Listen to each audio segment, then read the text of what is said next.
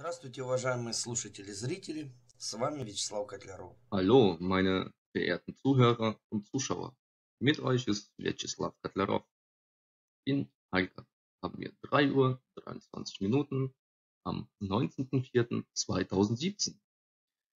Das folgende Video wird erscheinen als ein Fazit einer groß angelegten Arbeit.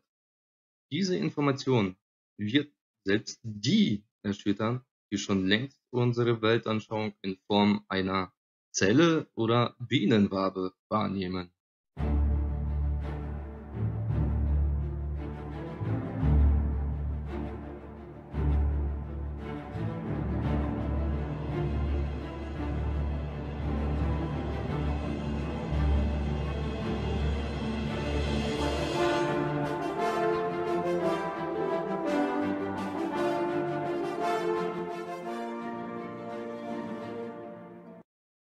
Euch, warum ich nicht schon vor einem Jahr darüber berichtet habe? Hm, nun, ich vermute, wenn ich mit diesem Thema den medialen Einstieg gewagt hätte, dann wäre diese Information unbekannt geblieben. All jenes wurde gemacht, damit sich gleich tausend Menschen die Ersterscheinung des Videos ansehen. Praktisch vor einem Jahr habe ich mein erstes Video ins Netz gestellt unter dem Namen Wie sieht die Erde realistisch aus? In diesem Video habe ich auch mitgeteilt, wie unser wahres Weltbild ausschaut. Jetzt haben wir etwa 8 Uhr morgens in Harkov, den 25.04.2016. Aber nun atmen wir tief ein. Unser Planet ist hunderttausend Male größer, als wir es uns vorstellen können. Ja, unser Planet ist kugelförmig, aber das Territorium ist einfach unglaublich. Auf diesem Territorium befinden sich hunderttausende anderer Erden, die in der Regel von einem Eisgürtel umrandet sind. Wenn man den Planeten aus dem All betrachtet, dann wird es wie Bienenwaben aussehen. Das heißt, in jeder dieser Wabe befindet sich äh, eine Erde, äh, ähnlich unserer. Es ist ein Jahr vorbei und das Interesse zu meinem Wissen, eher richtig gesagt zu unserem Wissen, ist nicht weniger geworden. Eher im Gegenteil, es ist um das Hundertfache, vielleicht sogar um das Tausendfache gewachsen. In diesem Video zeige ich euch die wahre Karte unserer Welt. Also fokussiert euch maximal darauf ein, denn folgende Information erschüttert selbst die begabtesten Köpfe unserer Wabe. Nun, fangen wir an. Als erstes möchte ich euch an die faschistische Expedition der 1940er Jahre erinnern.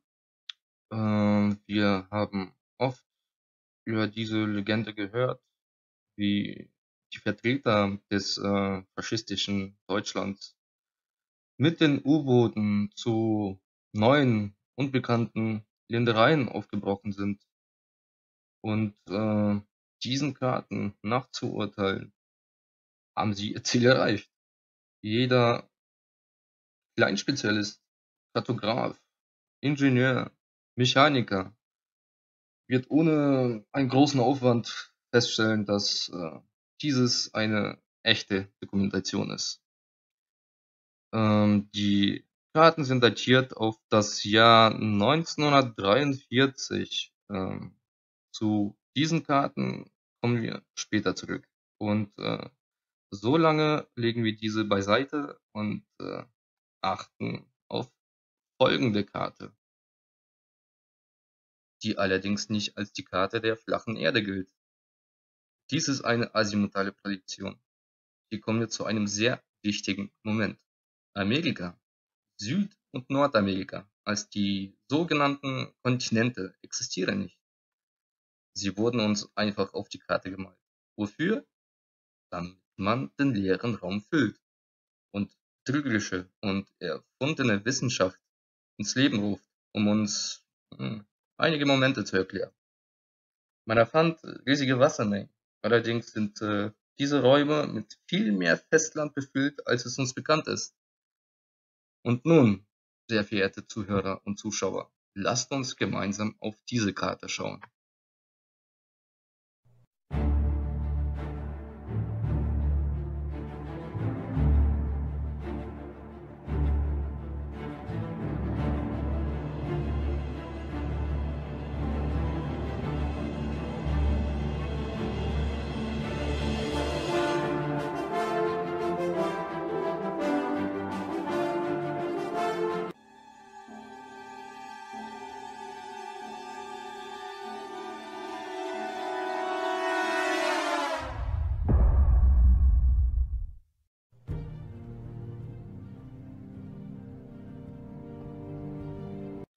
Ja, ja, genau so sieht unsere Wabe aus. Der Platz, an dem wir leben. Und die, die meine Videos studiert haben, werden vermutlich sagen, halt. Früher wurde doch gesagt, die Ländereien befinden sich in den benachbarten Waben.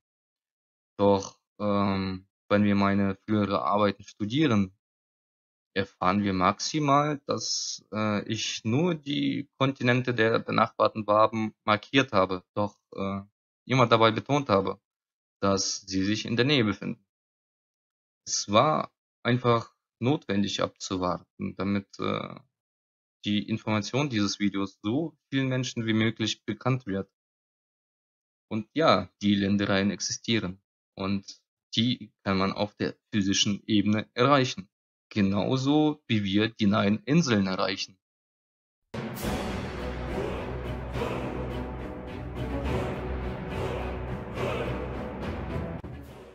Titanic ist nie gesunken. Es erreichte erfolgreich die benachbarten Ländereien und alle Reisenden blieben am Leben. Bermuda-Dreieck. 50% der abgestürzten Flugzeuge und äh, gesunkener Schiffe haben die benachbarten Ländereien erreicht. Olaf Jansen, der Fischer und sein Sohn aus dem Buch Smoky God von Willis George Emerson haben genau diese Ländereien gesehen. Legendärer Held aus dem Werk Sannikov haben auch diese Ländereien gesehen und erreicht. An den Ufern dieser Länder haben Nazis innerhalb einiger Jahre und in Ruhe ihre Kolonien gegründet. Admiral Richard E. Byrd hatte mit seiner Staffel ein Fiasko an diesen Ufern.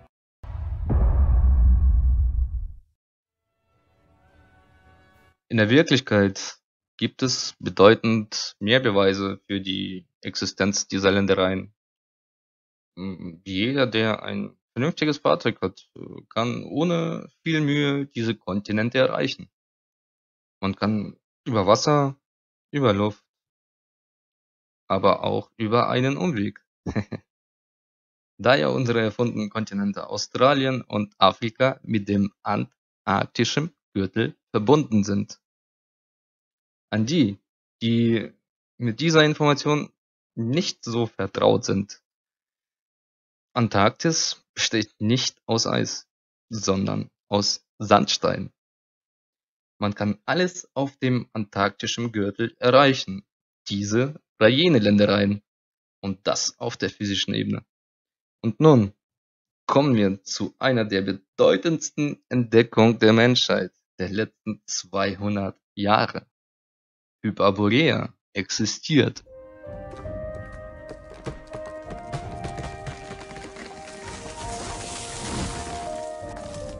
Hyperborea war niemals weg. Nicht zu bewältigen ist den Besatzern die Zerstörung unserer heiligen Wabe.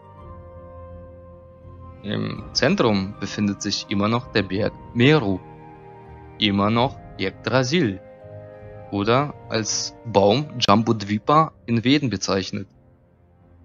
Dorthin fliegen jährlich die Vögel, um zu nisten. zu diesem magischen Ort, zu dem lebendigen Ort, zu dem Heilungsort. Für den einfachen Menschen ist dort ein Durchgang. Tatsächlich kann es näher zum Zentrum ziemlich frostig werden. Nun ja, zum Ende kommend, meine verehrten Zuhörer und Zuschauer, wissen wir nun, warum das Nordlicht nur am Nordpol existiert. Warum viele Neuzeitentdecker vergeblich versuchen, unser Weltbild zu verstehen. Verstehen aber nicht, weil die nicht wissen oder besser gesagt nicht wussten, wie unser Planet wirklich aussieht. Nun lasst mich von euch verabschieden. Die Fortsetzung, Ergänzung und Erklärung wird in den nächsten Videos erscheinen. Mit euch ist immer noch Vyacheslav Kotlarov.